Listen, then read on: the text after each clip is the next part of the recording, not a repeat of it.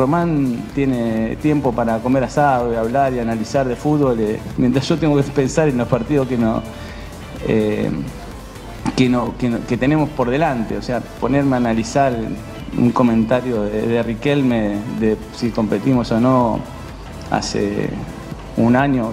Yo creo que venimos compitiendo hace bastante, pero Buffarini, ¡gol!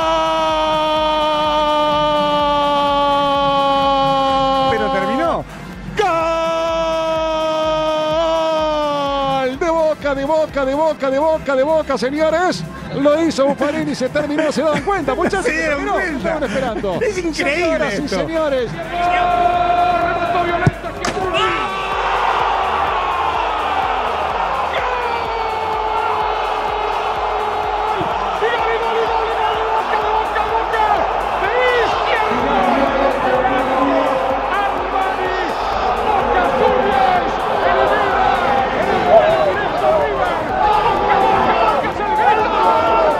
Quería jugar con Villa. Se queda Armani. Quiere cubrir Pires. Villa, Villa, Villa.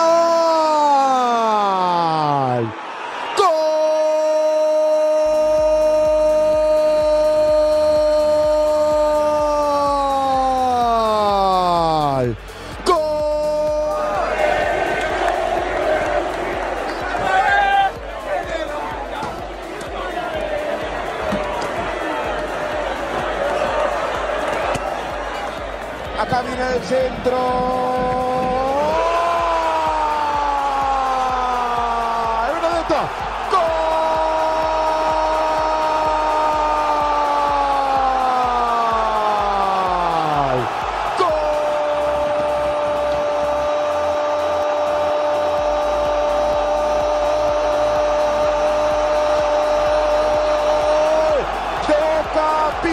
Pipa, pipa, pipa.